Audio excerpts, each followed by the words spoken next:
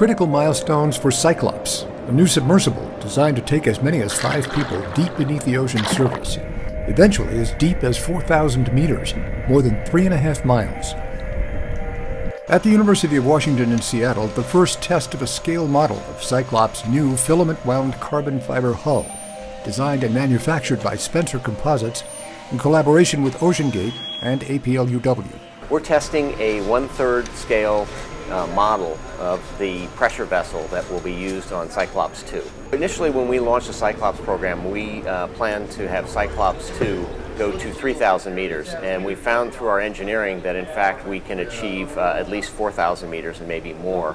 Uh, Cyclops 3 has been planned to be 6,000. The pressure at 6,000 meters? About 8,762 pounds per square inch. By comparison, Navy submarines commonly operate at depths of 180 to 250 meters.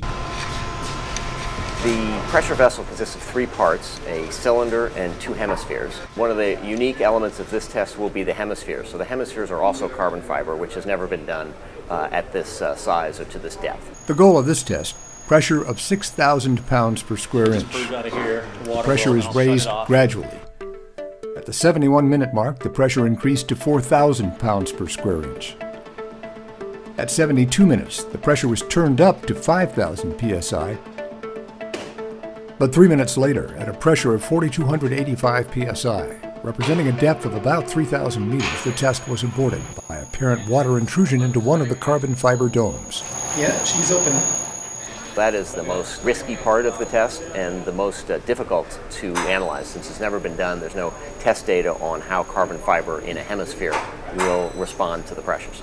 This initial test was deemed a success at 4,000 psi, the equivalent of 2,800 meters. The carbon fiber hemispheres are now back at the manufacturer, Spencer Composites in Sacramento, for analysis ahead of additional testing down the road. In September, this successful test of another APLUW OceanGate design collaboration, LARS, Launch and Retrieval System. To avoid surface turbulence, the Cyclops vehicle on Lars is submerged 5 to 10 meters, providing a stable underwater launch platform.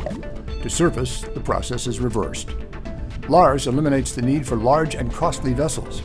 Look at we can use an ocean-going tug that might be $10,000 a day versus a specialized research ship that would run, say, $100,000 a day.